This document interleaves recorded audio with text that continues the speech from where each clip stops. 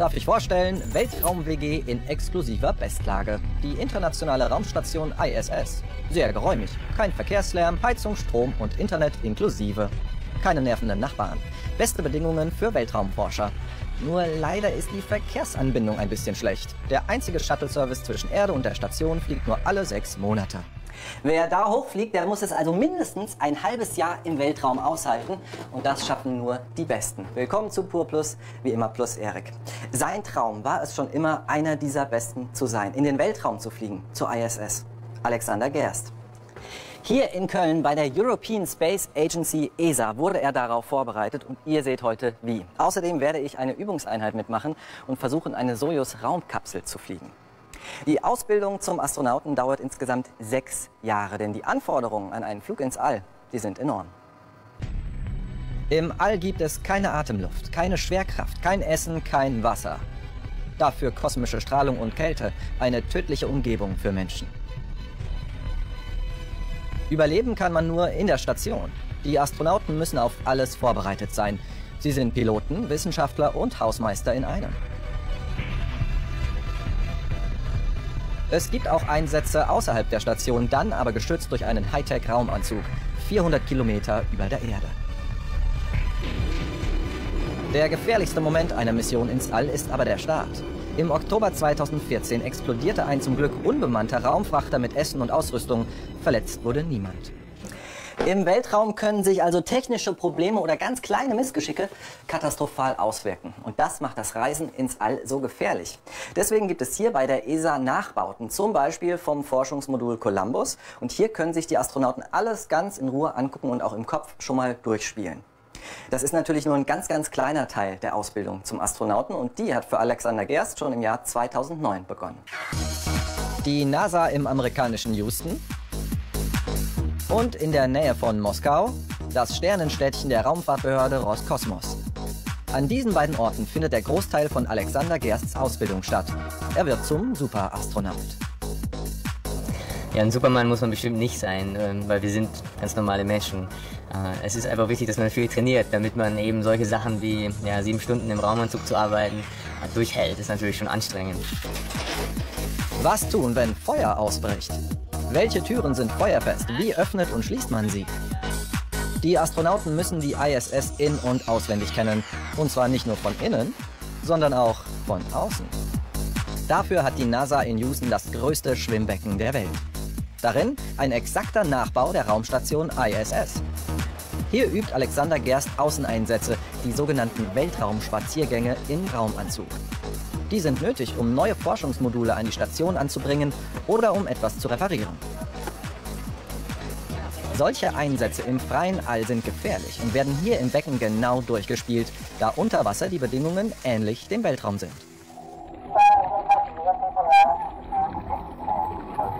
Die Astronauten verbringen sechs Stunden im Becken. So lange dauert auch ein echter Weltraumspaziergang. Unter Wasser gleiten sie schwerelos umher, wie im All.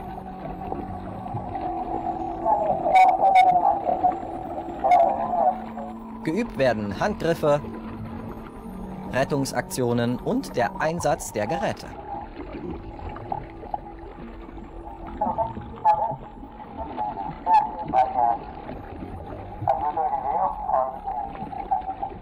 War jetzt wahrscheinlich um die sechs Stunden da unten, ein bisschen länger. Man, man merkt aber nicht. Die Zeit ist wie, ja, es ist wie so ein eigenes Zeitraumgefühl, in dem man sich da befindet. Das heißt, ich komme raus und für mich ist das Gefühl immer noch 9 Uhr morgens, obwohl es jetzt wahrscheinlich schon spät am Nachmittag ist.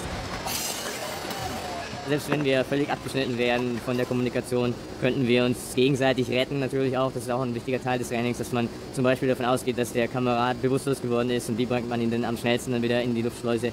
Das trainieren wir äh, ab und zu und es ist sehr wichtig, dass man das kann und dass man natürlich auch zu jedem Zeitpunkt dran denkt, dass sowas auftreten kann. So wie im Juli 2013. Luca Parmitano und Christopher Cassidy arbeiten draußen an der ISS. Dann bemerkt Parmitano Wasser in seinem Helm. Es bedeckt Augen, Ohren und die Nase.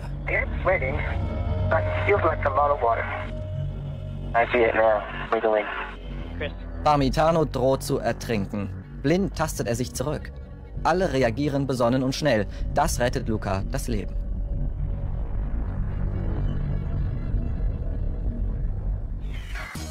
Grund war eine verstopfte Wasserpumpe. Wissenschaftler und Techniker der NASA mussten monatelang suchen, bis sie die Ursache finden und beheben konnten.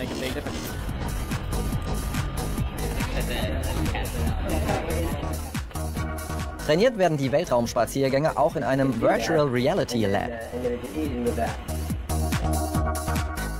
Jede Bewegung überträgt sich auf den Computer und wird sofort in ein dreidimensionales Videobild umgesetzt.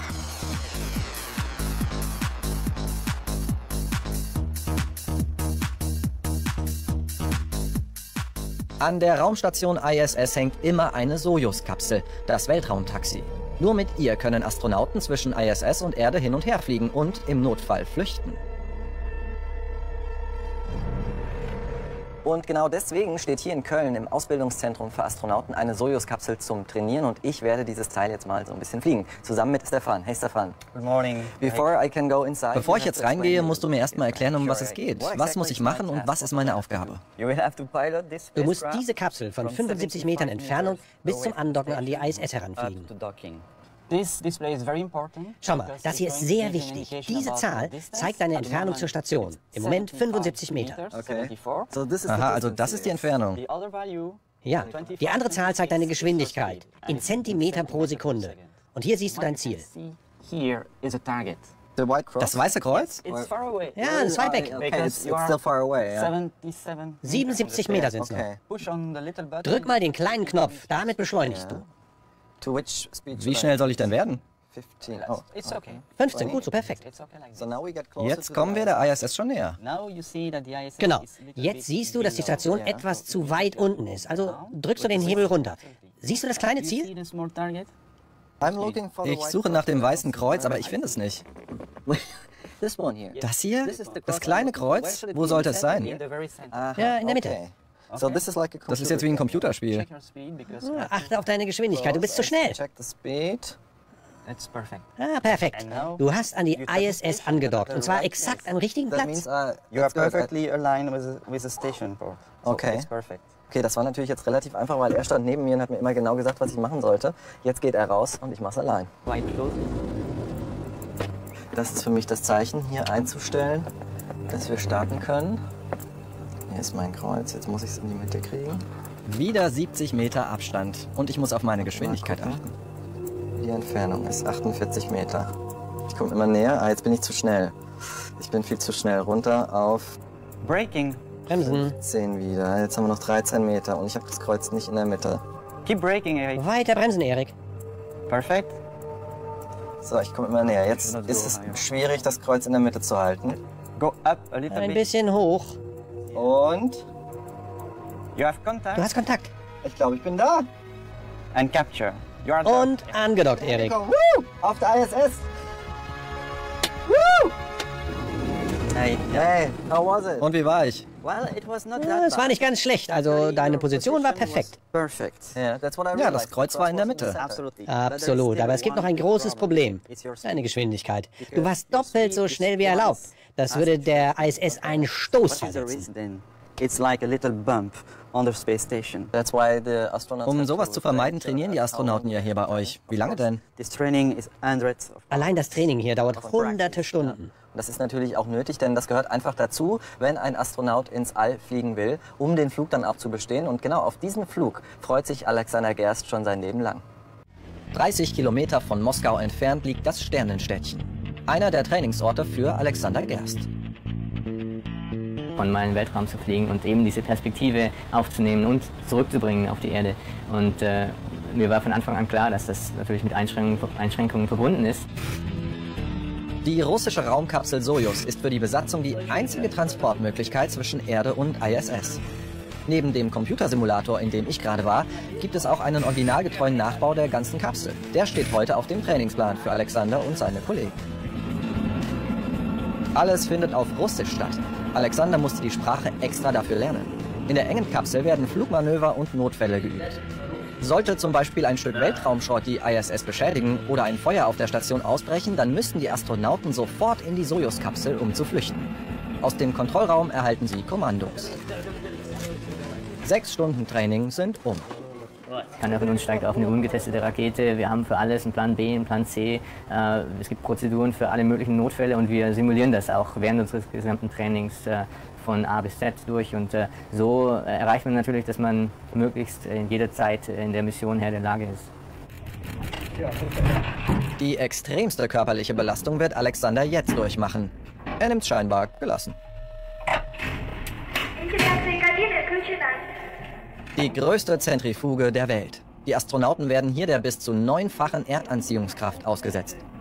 Bis zu 9G treten auf, als Astronauten mit der Soyuz-Kapsel zur Erde flüchten müssen. Ein Ärzteteam kontrolliert alles.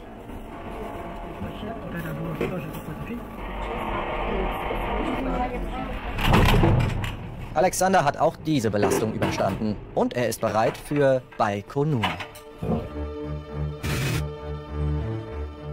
1961 startete Juri Gagarin von hier als erster Mensch ins Weltall.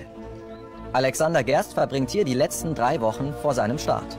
Tradition wird in Baikonur großgeschrieben. Seit Gagarin pflanzt jede Crew einen Baum in der Kosmonautenallee.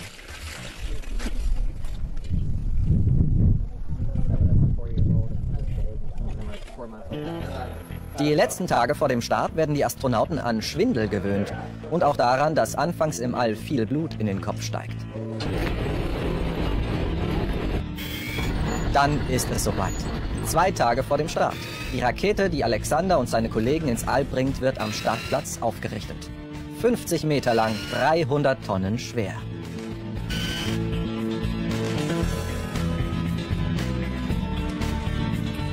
In der Nacht des Abflugs werden die Raumanzüge noch einmal auf Flex überprüft.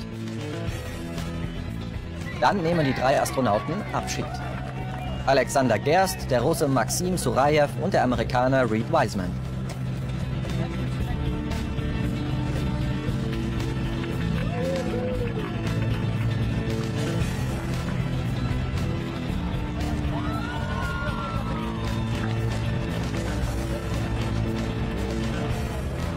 Drei Stunden dauern jetzt noch die Startvorbereitungen. Dann um kurz vor zwei hebt die Rakete ab.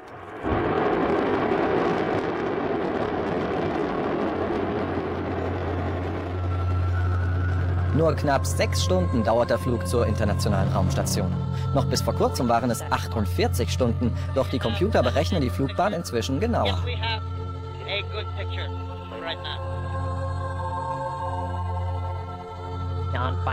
Das Andock-Manöver beginnt.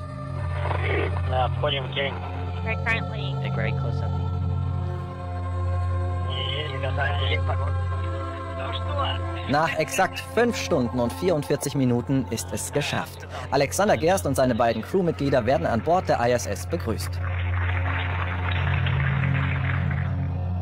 Die Station rast mit 28.000 km/h um die Erde. Für Alexander erfüllt sich ein Lebenstraum.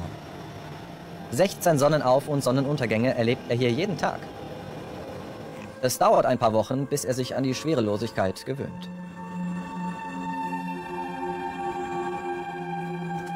Geschafft. Sechs Monate wird dies nun seine Heimat sein. Ein riesiges Forschungslabor, das seit dem Jahr 2000 ständig bewohnt ist. Das ist Alexanders Schlafkoje, so groß wie eine Duschkabine. Die wissenschaftlichen Experimente drehen sich viel um die Gesundheit der Astronauten, denn die Schwerelosigkeit sieht leicht aus, für den Körper ist sie aber eine Extremsituation. Wir schauen uns zum Beispiel hier oben im Weltraum an, wie unser Körper auf die Schwerelosigkeit reagiert. Weil wir den ganzen Tag unsere Knochen und Muskeln eigentlich fast nicht benutzen, möchte unser Körper genau diese Muskeln und Knochen abbauen. Das ist ein bisschen so ähnlich wie auf der Erde, wenn Leute Krankheiten haben wie Knochenschwund und Muskelschwund. Und dadurch, dass wir das hier oben in der Schwerelosigkeit untersuchen können, können wir dann später diesen Leuten, die solche Krankheiten auf der Erde haben, helfen. Damit die Astronauten während ihres Aufenthalts im All keinen Knochen- und Muskelschwund haben, trainieren sie jeden Tag zwei Stunden lang. Da ja auch Gewichte im All schwerelos wären, ist dafür eine spezielle Hydraulik mit Sprungfedern nötig.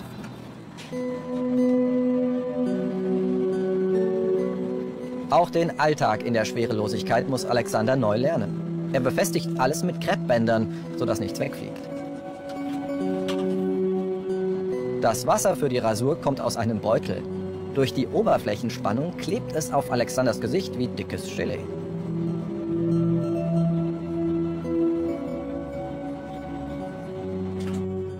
Sein Arbeitstag an Bord dauert 10 bis 12 Stunden. Alexander wird 160 Experimente durchführen.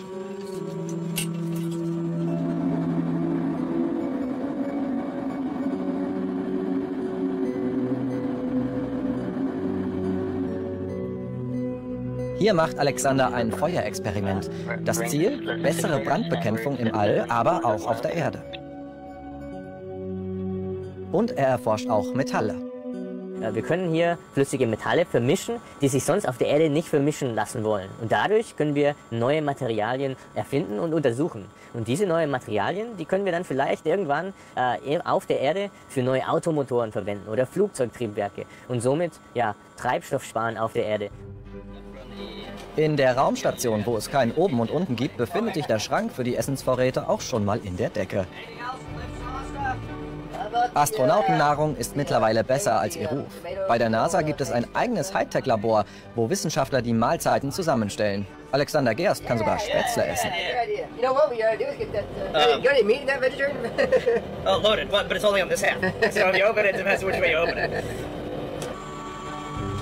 Anfang Oktober folgt der Höhepunkt der Mission. Reed Wiseman und Alexander Gerst sollen frei im All arbeiten. Immer wieder kontrollieren sie ihre Anzüge.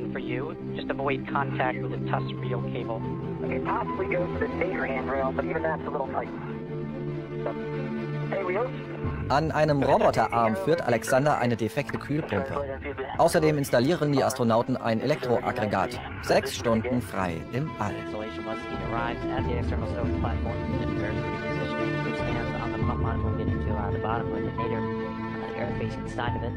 Alles läuft gut. Wir Menschen sind, äh, sind eine Spezies von, von Entdeckern. Das Wer kennt nicht das Gefühl, am, am Meer zu stehen und äh, auf den Horizont rauszuschauen und sich zu fragen, was ist dahinter? Früher sind die Leute deshalb in ein Boot gestiegen und losgefahren. Heute weiß man im Prinzip, was hinter dem, hinter dem Horizont ist. Wir haben jetzt äh, eben neue Grenzen, die wir zu, die wir zu entdecken haben und, und, äh, und eben weil wir, weil wir eine neugierige Spezies sind und, und deshalb machen wir Raumfahrt. Sechs Monate war die ISS sein Zuhause. Inzwischen ist Alexander wohlbehalten auf die Erde zurückgekehrt. Durch Übung, Disziplin und jahrelange Ausbildung hat es Alexander Gerst geschafft, dorthin zu reisen, wo eigentlich kein Mensch überleben kann. Er hat sich seinen Traum erfüllt. Wenn ihr wissen wollt, wann auf der ISS Putztag ist, dann klickt euch auf www.zdftv.de. Da haben wir Infos zur Station für euch und ein Weltraumquiz. Klickt euch durch. Und denkt dran, Pur Plus macht schlau. Bis dann. Ciao, ciao. Ey, Gilbert! Was soll denn der Quatsch schon wieder? Von wegen Quatsch. Ich bin mitten im Astronautentraining. Ha, ich will als erster Bär überhaupt ins Weltall fliegen. Ja, nee, ist klar. Naja, wenigstens wärst du dann in guter Gesellschaft. Astronauten sind schon merkwürdige Typen. Menschen, die ihren Beruf nicht loslassen können. Heute Astronaut. Ground Control, bitte Erlaubnis zum Andocken. Oh Mensch, Ginge, kannst du nicht wie jeder normale Mensch einparken?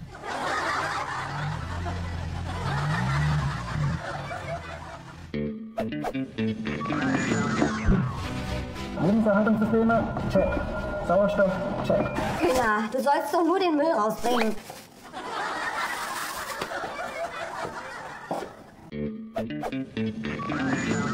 Das ist ein kleiner Schritt für einen Mann, aber ein großer für die... Oh Mensch, kannst du nicht wie jeder normale Mensch aus dem Auto aussteigen?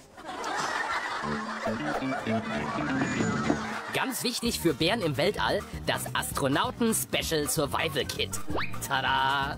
Gibt es auch sowas wie ein Spezialgehirnkit? Du bist so kindisch. Und wenn schon, das sagen viele auch vom Darf. Aber der macht auch gerade ein Astronautentraining. Damit du mal weißt, was Sache ist. Hm? Darth Vader! Privat! Lord Vader, der ähm, Imperator will, dass Sie einen Astronauten-Fitnesstest absolvieren. Ähm, das hat er so gesagt. Ich kann es nicht ändern. Pah, der Imperator will. Ich bin topfit. Hm, zwei, drei, vier. Und runter und hoch. Ja, tada! Leicht wie eine Feder. Hervorragend, Herr Vader. Hm. Eigentlich müssten Sie unsere Testzentrifuge mit 100.000 Umdrehungen locker packen, aber... Äh, aber? Äh, leider ist die uns kaputt gegangen. Ach. Deswegen müssen wir improvisieren. äh, Was zum Geier hat das mit einem Astronautentest zu tun? Da musste ich erst die halbe Belegschaft knien, damit du auf den Schwebebalken gehst. Aber Mutter, warum? Damit du jetzt keine Ausreden mehr hast und bei der Schwanensee-Aufführung im Altenheim mittanzen musst. Deshalb. Schwanensee? Oh nein. Oh, Hochmut kommt vor dem Fall. Houston, hier ist es sehr, sehr kalt. Aber ich stehe kurz vor dem ersten Kontakt. Erster Kontakt? Du spinnst doch. Du stehst bloß in einer Kühlbox. Babsi, das gehört zur letzten Stufe des Trainings. Kontakt mit außerirdischen Bewohnern eines Eisplaneten simulieren. Den Spaghetti-Eis-Aliens. Ich komme in Frieden. Naja, fast. Boah, Gilbert. Mm. Kann mich nicht jemand mal auf dem Flohmarkt verkaufen?